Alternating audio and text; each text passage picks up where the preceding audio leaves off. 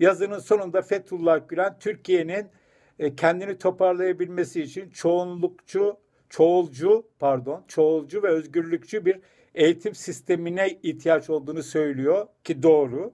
Ama bunu Fethullah Gülen'in söylüyor olması yanlış. Çünkü Fethullah Gülen hareketi biliyoruz başından beri özellikle ilk yıllarda kapısını başka yerlere kapatan bir hareketti. Bu konuda bir başından geçen bir örneği anlatmak isterim. Daha Ergenekon soruşturmalarının öncesinde İstanbul'da Karaköy ya da Eminönü'nden emin değilim. Kadıköy'e vapurla giderken vapurda açık havada oturuyordum.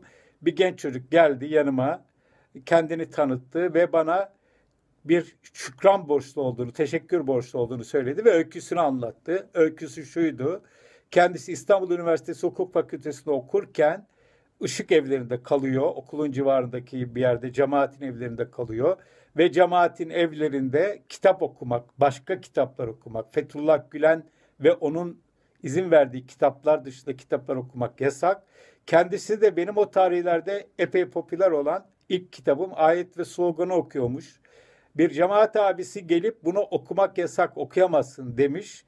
Ee, daha sonra bir süre sonra tekrar kitabı görünce bu çocuğu ışık evinden atmışlar. Ve çocuk da bana benim sayemde kendi tabiri bu.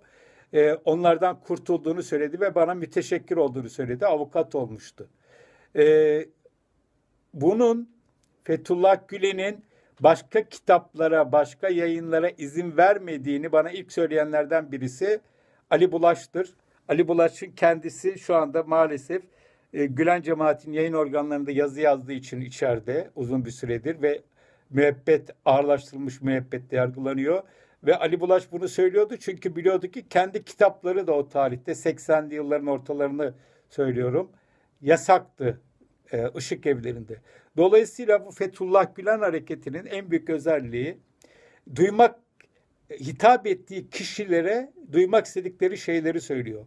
Washington Post'ta yazdığı zaman demokrasi, çoğulculuk, çoğulcu eğitim, özgürlükçü eğitim diyor. Kürtler diyor, Aleviler diyor. Başka zamanlar başka şeyler diyor. Mesela cemaatin güçlü olduğu zamanlarda Azerbaycan'da çıkan yayın organlarında, televizyon kanallarında da e, şeyin Aliyev'in tek adam yönetiminin övüldüğünü biliyoruz. Yani onların için onlar için önemli olan bulundukları yerlerde sorun yaşamamak. Şimdi burada e, şöyle bir soru var. Cemaatin Washington Post'ta böyle bir yazı yazmasının ne anlamı var? Birçok anlamı var. Bir anlamı cemaatin en önemli meselesi var kalmak ve özellikle de Fethullah Gülen'in Amerika'daki varlığını sürdürebilmesi.